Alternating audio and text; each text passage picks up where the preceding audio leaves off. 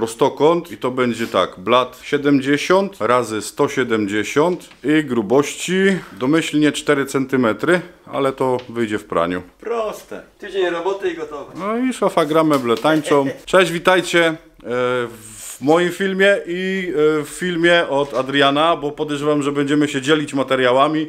YouTube nam później wyśle e, takie roszczenie, że ja mam zbanować Adriana, a Adrian ma zbanować mnie, ale kij w okulary.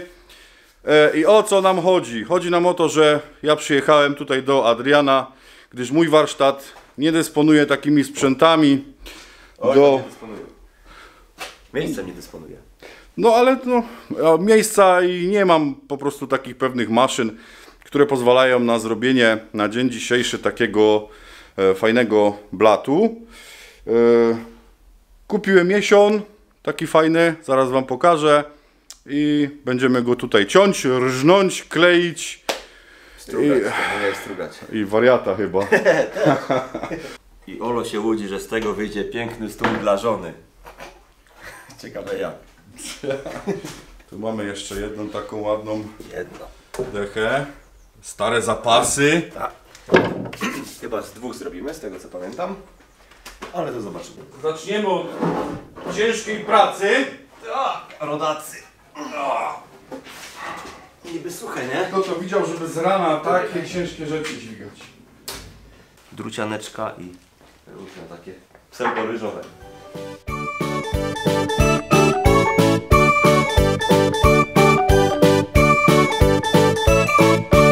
Teraz przechodzimy do następnego etapu, którym jest, yy, co to tam było? Rozkrój, jakiś tam, coś tam trzeba pokroić.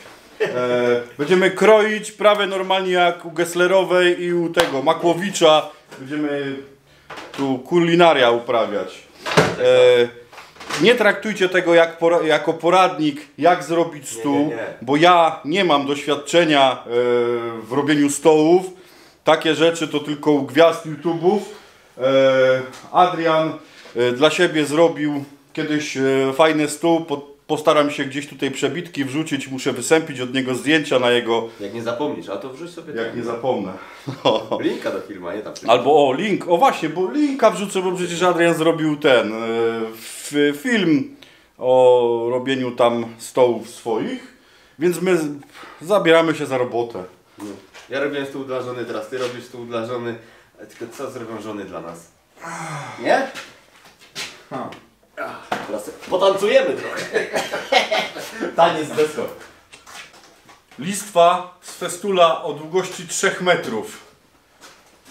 To już w moim e, warsztacie nie ma szans, żeby ogarnąć taki temat. Nie pan, masz taką samą przecież.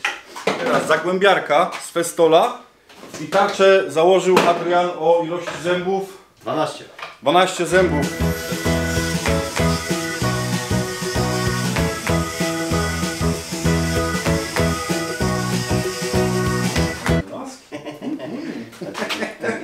Insta, Instagram, nie? Masz Wolfcraftcikowe. Wolfkraftowe okularki. Co pan, pan Jacek z kanału M powiedział, że są gejowskie.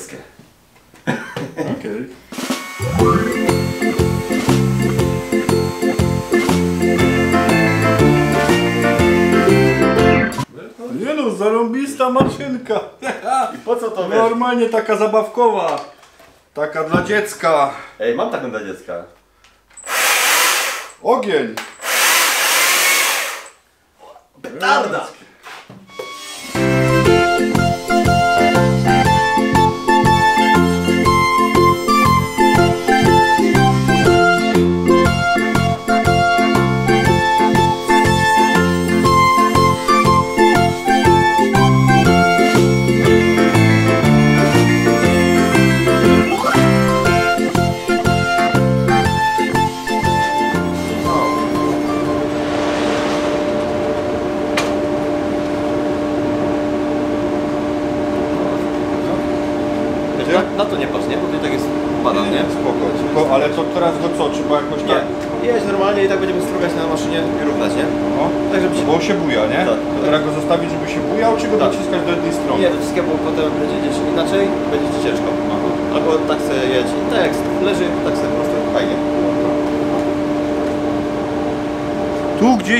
Dali guzik. No, Oszołomy. porażka. Dobra.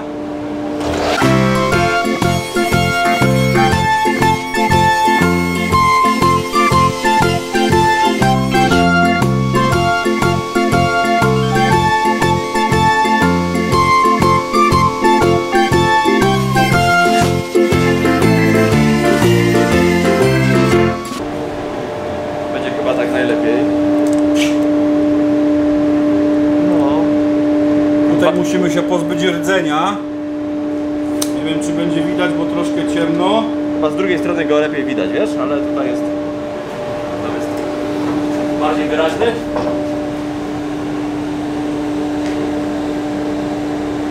Tutaj mamy bardzo blisko rdzeń i tutaj chcemy się tego pozbyć, żeby później nie powstał nam banan poklejący. Akcja.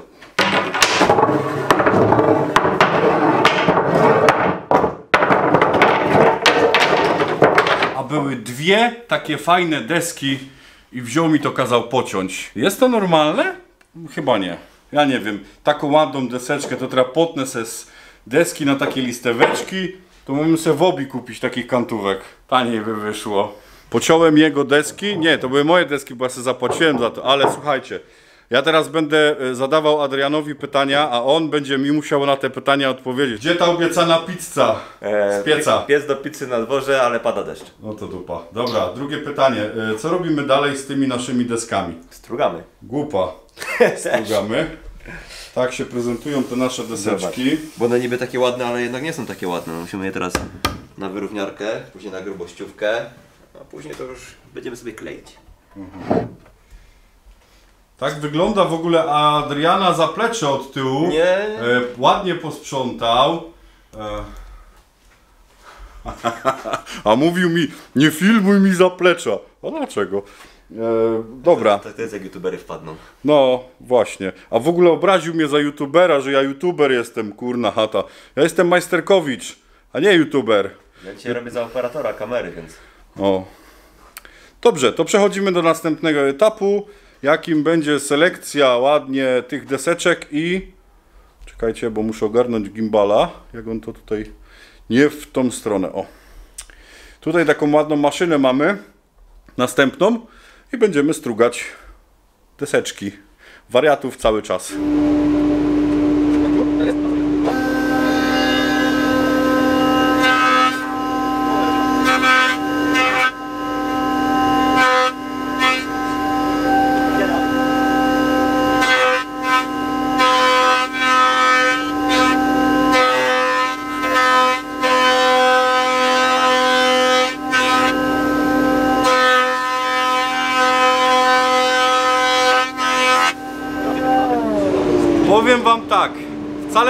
Łatwe nie jest jak to wygląda na filmach.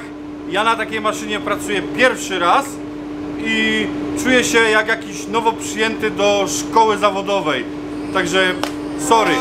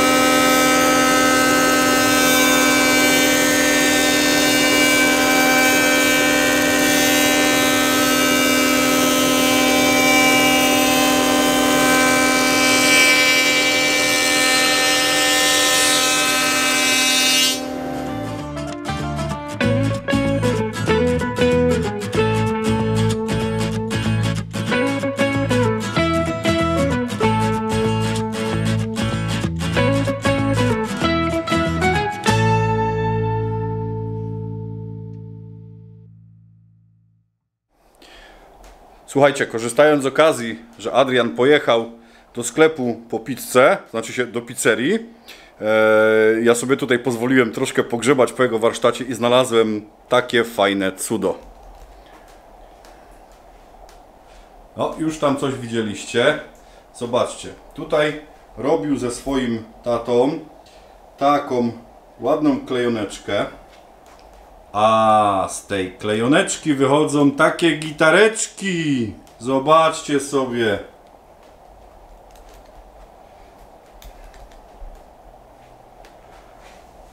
I to jest gitara. Tu jestem. To jest gitara, którą Adrian razem ze swoim tatą zrobili od podstaw do samego końca. Ja słyszałem to na filmie, ale on mi tutaj dzisiaj to zaprezentuje. Ja już go tutaj będę zmuszał do pewnych rzeczy. Lecimy dalej.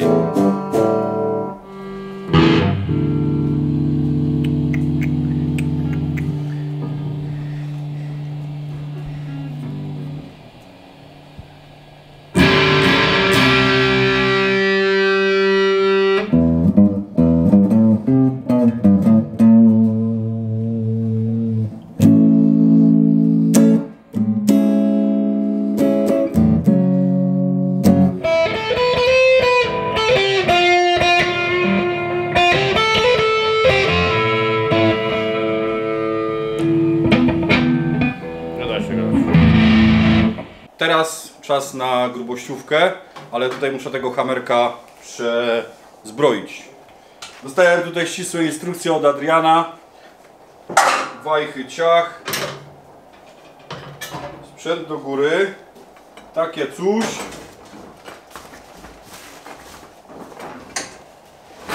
Panie majster, dobrze? Dobrze. Dobrze. Hammer możecie przysyłać do mojej piwnicy takie sprzęty, ja już umiem. Także jedzie.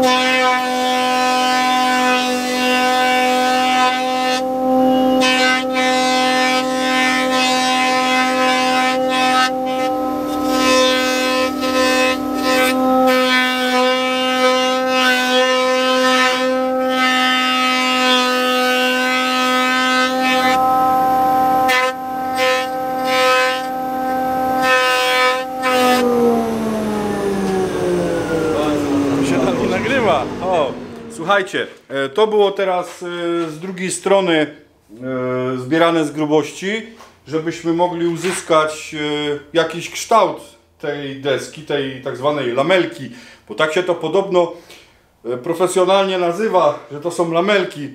Chociaż dla mnie lamelki to są w lamelownicy, a to, to są po prostu deski. Wszystko. Na ten temat. Dobrze, przyszedł czas teraz na znalezienie kierunku słojów, żeby nam tego blaciku nie powyginało.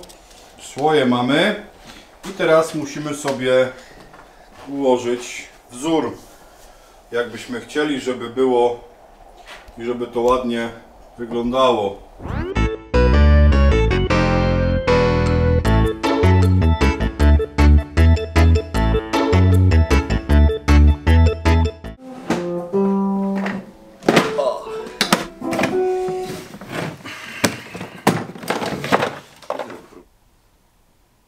Sprawa wygląda tak. Blat mamy już docięty i my sobie już tutaj zaznaczyliśmy. I po długich debatach i dyskusjach doszliśmy do wniosku, że połączymy to na lamelki, dwudziestki i Domino 10 na 50. tak. E, Bo Do, domino trzyma sztywno i faktycznie ten otwór jest e, ciasny, a lamelka ma duży luz. Dlatego tak wyszło ze względu na to, że y, ja mam w swoim posiadaniu lamelownicę od Erbauera i tutaj mm, jakby nie było jednak tarcza robi mi mm, frez troszkę szerszy i ta lamelka ma jakieś tam luzy. I tak troszkę, y, jak i ja, tak i Adrian, troszkę się boimy tego, że e, przy samej lamelce mm, możemy polec na naszej robocie. Może, może nie boimy się, że polegniemy, a, a nie nic z tych rzeczy i też nie negujemy, że to jest takie złe rozwiązanie, nie? Z tymi lamelkami, czy tam ciasteczkami, jak ja to nazywam. Ale na pewno pewniejsze będzie na domino, jak będzie dużo sztywniej. W zasadzie chodzi nam tylko o wypozycjonowanie tych e, desek, nie? Żeby jednak ta krawędź, e, e, ta płaszczyzna górna była równiutka podczas klejenia, bo nie mamy tutaj prasy, więc będziemy to wszystko robić na ściskach, nie? Więc musi być tak w miarę. Dlatego musimy wziąć, no. dlatego sobie musimy wziąć pod uwagę fakt, że jednak to jest e, ten Erbauer, mm, tak jak Adrian powiedział, może nie być zły, ale tu jednak e, lepiej mieć pewność, bo e, te domino, ono tutaj ciasno nam będzie wchodziło i o ile Adrian po prostu nie spierdzieli i źle coś nie nafrezuje, to wyjdzie dobrze. A ja nawet jak coś spierdzielę, to ta lamelka po prostu będzie za, będzie za luźna i e, nie no wiecie o co chodzi. Przy luźnym e, te nasze deseczki będą nam e, latać góra-dół, a ja później ten blat będę obrabiał u siebie w piwnicy, e, w moim warsztaciku i później pozostanie mi co? Pozostanie mi struk e, i trzeba będzie ręcznie naginać. Także tutaj skorzystam z festola. Nie to, żebyśmy wazelinę ciśli dla festola, nie, ale... Nie, bo nie, nie, nie. No, ale... Nie, nie. Mo- możemy, nie, zrobić na, możemy zrobić na skręcanego to. Dobra, dobra, Ale to lecimy. Dużo roboty.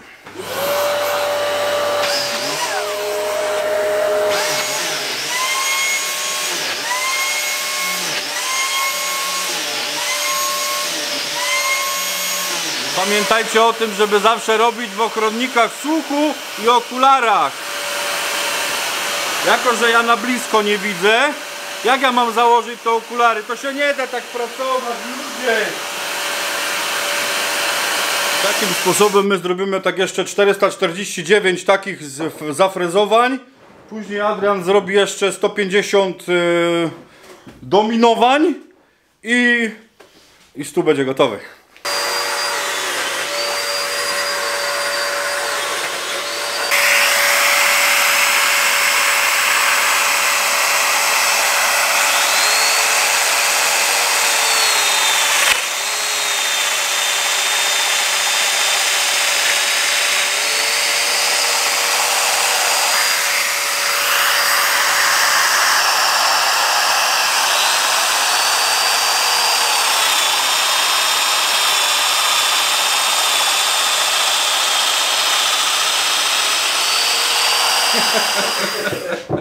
Co?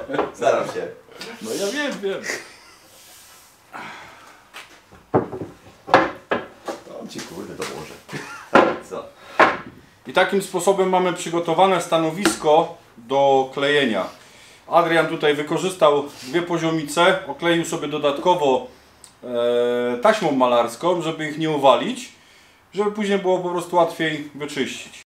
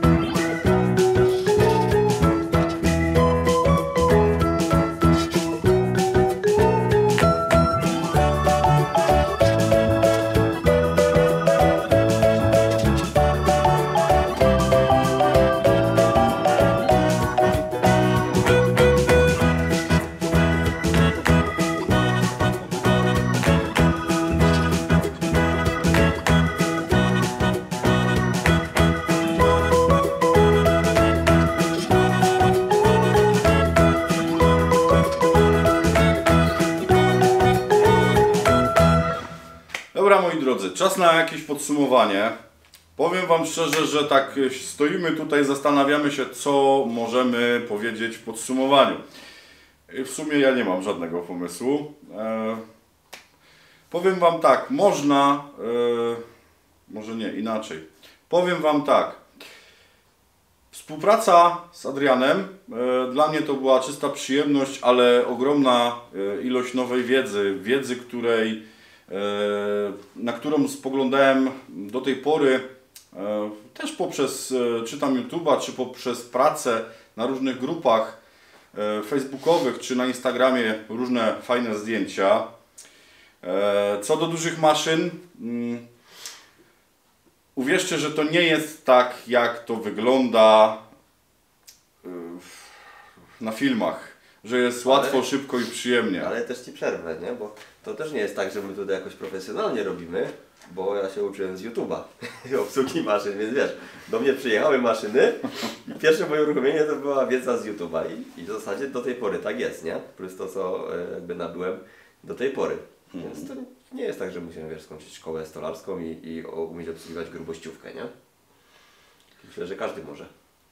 No tak mi się wydaje, że z jednej strony każdy może, ale z drugiej strony y, jednak trzeba mieć jakieś podstawy do, do tego, żeby stanąć przy maszynie, choćby patrzeć od strony bezpieczeństwa, żeby tutaj nie włożyć to palucha, żeby y, w taki sposób nie, y, tak jak na tej Twojej formatówce, żeby tak nie ciąć, bo jak Ci poderwie, to Ci dużo szkód narobi, nie? No, we dwójkę jest zawsze łatwiej, nie? Bo ten drugi gdzieś tam odbierze ten materiał. To też Ja w każdym bądź razie bardzo się cieszę, że ja mogłem tutaj e, skorzystać z Twoich maszyn. E, Jeszcze tutaj za Twoimi plecami stoi taśmówka, ale ta taśmówka może w niedługim czasie pójść również w ruch. Jeszcze jej nie było w ogóle w żadnym filmie chyba. Tak może dzieciom przewinąłem. No zobaczymy, bo, Ukradkiem, bo ale- Ale Ja- nie było realizacji. ja bym bardzo chętnie na niej popracował, e, ale tutaj będziemy mieli okazję zrobić może do tego blatu jeszcze tą, jak to się nazywa, tą, tą skrzynkę pod blatem, o, żeby nie mówić e, dziwnych nazewnictw. E, Bo jeszcze nie mam pomysłu co do e, samego, samej podstawy. E, To dopiero jak przywiozę blat już będzie zrobiony, wtedy będę myślał co dalej z tym. Blacik nam się udał. Tak, Jest. pierwsze, pierwsze zdjęcia już tam gdzieś takie przebitki widzieliście jak wygląda, chociaż na razie nie wskazuje na to, że to jest jakiś przepiękny jesion, Mm, ale ja miałem u Adriana okazję widzieć e, jego stoły, które już zrobił i powiem Wam szczerze, że po wybarwieniu olejem e, będzie, będzie rewelacja. Petarda. I co? I fajnie, że to w ogóle wyszło tak elegancko równo, pomimo że nie mamy na przykład prasy, nie? Czyli, Nie mamy prasy. Czyli da się to zrobić na ściskach, tylko wiadomo, jest to troszeczkę... No ja, ja się nabawiłem. e, Bardziej czasochłonne, nie? Tak, e, przy ściskach takich jednak e, zwykłych, gdzie rączka jest e, mała i są ściski zwykłe, e, śrubowe, bez korbek, bez niczego, no to tutaj jednak e, kręcenie e, rączką e, daje popalić i gdzieś nadwyrężyłem i, i teraz muszę zamówić ludzi, którzy mi to wniosą do mnie na warsztat. I różnicę widać, nie? W ściskach, nie? Między tam powiedzmy takimi Widać, marketówkami, a widać. jakimiś lepszymi. Tutaj wykorzystaliśmy też, e, ostatnio na filmie wspominałem o e, jakie ściski e, kupić i można powiedzieć zachwalałem ściski Wolfcrafta. To nie są ściski do klejonek i tutaj się nie ma co oszukiwać, one nie są do klejonek, one są do łapania, tutaj akurat nie były metrówki, no to do łapania można powiedzieć większych gabarytów, ale e, no nie jest to ścisk pod Nie, jednoręczne nie. nie jednoręczne nie. Do, do takiej klejonki, ale już te drugie śrubowe. Śrubowe już dawały radę, już, już dobrze się przykręcały. Nie będziemy przedłużać, nie? No, nie ma co przedłużać. Bierzemy blacik, wrzucasz sobie go do piwnicy, do Tak. warsztatu i dalszy etap będzie. I dalszy etap będzie już u mnie y, na warsztacie. Także z, mojej, z tej strony ja y, bardzo serdecznie zapraszam na kanał Adriana. Y, On tam ma też super realizację. Mm, ja zapraszam na kanał Ola, bo u mnie też się nagrywa. O, pozdrawiamy y, widzów Adriana. Myśl, ale nie wiadomo, czy trzecia część nie będzie, nie? No jak mówisz o remiaku jeszcze, to pewnie, znaczy zobaczymy jak to podzielimy. Znaczy jak to podzielisz. Zobacz, wszystko wyjdzie w praniu, ile wyjdzie materiału, bo jak wyjdzie naprawdę dużo materiału, to nie będę wrzucał przecież takich długich odcinków. W każdym razie u mnie już na tym etapie się kończy e, ta realizacja. Resztę zobaczycie u e, Rafała na kanale. Okej. Link do filmu gdzieś tutaj wrzucimy, u góry. Jak już się tylko pojawi tu albo tu, nigdy nie pamiętam. Ja też nie pamiętam. Dobra, to w sumie wszystko. E, ja, Adrian, dzięki za realizację, za pomoc. Wzajemnie trzymajcie się i miłej pracy. Na razie.